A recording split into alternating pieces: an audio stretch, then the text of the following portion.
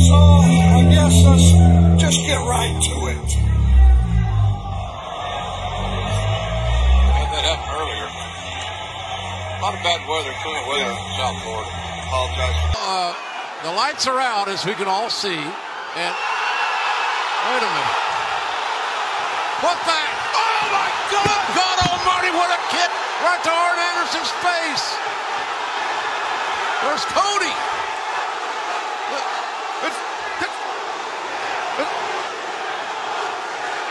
That is a man that I wrestled 15 years ago in Dusseldorf, Germany. That is Tommy End.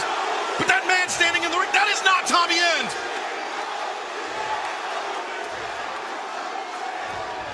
Oh my God! With that street shoe on, right in the face of Cody.